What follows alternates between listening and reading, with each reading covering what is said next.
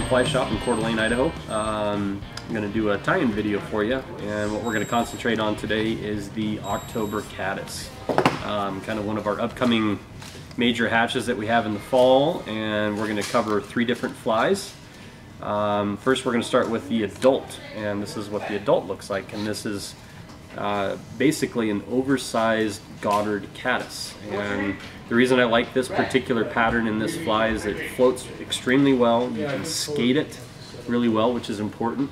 Um, and it, it, just works. Uh, so you can look closely here. It's got an orange underbelly, a little bit of basic brown hackle up front, some softer rubber legs for the antenna, which I like a lot. Um, seem to get a few more hookups with that. Doesn't twist your fly as much when you're casting it. Some of the guys will tie it with a stiff hackle points for, for the antenna. And uh, those seem to twist the fly if you're casting it pretty aggressively. But uh, anyways, this has been a really great fly for me when I'm guiding. And, uh, and yeah, and so the other two flies we're going to concentrate on are the pupa, the October caddis pupa, and also the nymph and this is the rock cased caddis and uh, you guys will see these in a lot of our western streams in Idaho, Montana, Washington and you'll notice them sitting on tops of the rocks. And in the fall uh, and, and the springtime as well the, uh, the trout will pick these off of the uh, tops of the rocks. And you can even catch fish from time to time that you'll see they'll have a bunch of the, uh, the uh, pebbles from these guys in their stomachs still and uh, but a very deadly fly. Um, so we're going to kind of give you a, a broad range of uh, three different flies here that are going to cover that particular bug. So the fly we're going to start with is the uh, the adult, this guy here, the, uh, the Goddard caddis, and uh, I'll kind of show you how I do it. Let's get started.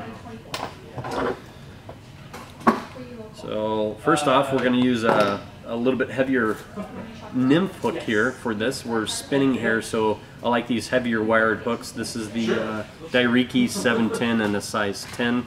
A little bit longer shank hook. Um, we're going to be stacking some deer hair on there, so we want to have a little extra room, but it is proportionate to the fly. So um, here we go. So we're going to cover the shank here with, uh, with thread. And we're using a little bit heavier thread today, again, because we're spinning hair. Uh, that way we're not breaking our thread. And for the majority of the fly we're using antelope and antelope's great for spinning hair. It's soft, it spins well, it floats well and it just so happens to be the, the right color for this fly. So the first clump of hair guys we're going to tie in and we're not going to let it spin. We're just going to tie it in and let it compress down. And if some of you guys have spun hair before, you'll know what I'm talking about. If, if you haven't, spinning takes a little bit of practice, but uh, I'll tell you what, the antelope really makes our, our job a lot easier for spinning hair. Alright, so next clump is going to be orange. And again, this is for the underbelly of the, the October caddis. He's really orange. A lot of orange underneath the, the fly there. And this guy we're going to rotate kind of down to the bottom portion because that's where the majority of the orange is on the fly. And then the next clump is going to be right on top. Don't want to let it spin. And then we're going to stack it back. Get some wraps in front here that helps lock it in. And it's okay if a little bit of that orange comes up into the top there. It's not, not a big deal. The, more, the majority of the orange you'll see when the fly is finished will be on the bottom. Again, spin, get that orange kind of twisted down towards the bottom there. Basically, we're going to do that same procedure about three or four times.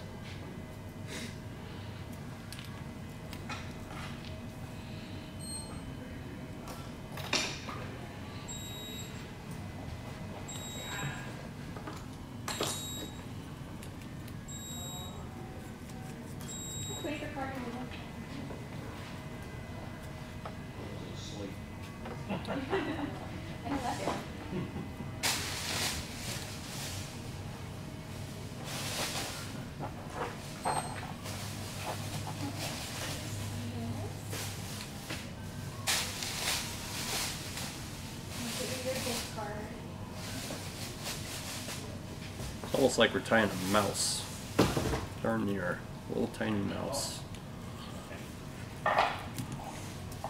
Alright, so then if you notice here guys, we're going to leave all about a third of that front shank open here. It's not going to have any hair on it. But we're just going to put a couple half hitches on this guy. We're actually going to take the fly out of the vise here. So you can see the all the orange that's underneath there. We're going to start by doing our first uh, few clips underneath here. It's just going to be a flat bottom here.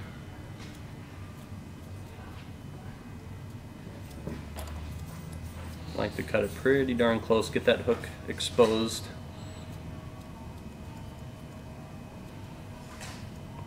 Okay.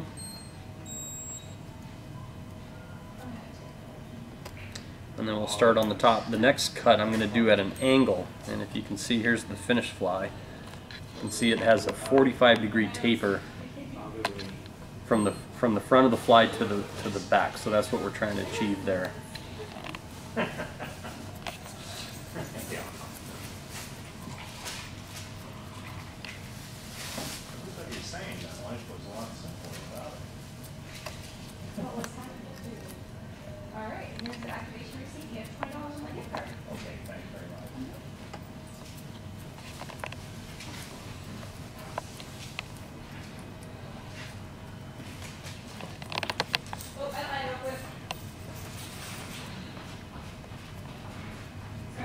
get them nice and trimmed up here.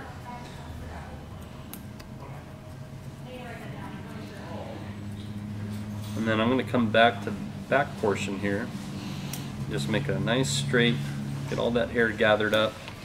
Nice straight cut, boom. Okay, that's pretty good. So that gives you a good idea of what it looks like before we do the, the rest here. Orange, nice and khaki on the top, 45 degree angle, looking good. So now at this point we're going to put it back in the vise. Give them a few more trims here. And then again we're going to reattach our thread. Okay. And then we're going to do the antenna. So the antenna are just basic um, black round rubber legs and these are like a medium round rubber legs. You can use the small if you want to. Uh, the larger or the medium work fine too. So let's get him tied in. Nice thing too is they compress down really well. Doesn't make a, a large head on the fly. So that helps us there. And then for the hackle, uh, I'm going to use a whiting uh, about a size you know, 10 or 12 would be fine. Don't have to be perfect. Strip a little bit of the hackle tip off and we'll tie him in there. Okay. Move the bobbin back forward. And the first few there I'll catch inside the hair and just go to town here guys. Kind of go back over itself, build up a nice hackle and then tie that sucker off. Okay. Alright, so after that point you get the hackle tied off. Um, I usually give the antenna a little bit of a lift there.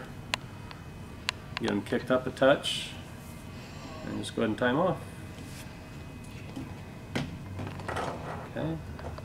And then we're going to snap the rubber legs guys and then this is what I like to do with my Goddards. Even my smaller Goddards I'll do this I'll actually put a little Zap-A-Gap on that underbelly. And this guy's big enough that I can just apply it like that, but with the smaller ones you can use a, a bodkin and then give the, the head a touch. And that's it.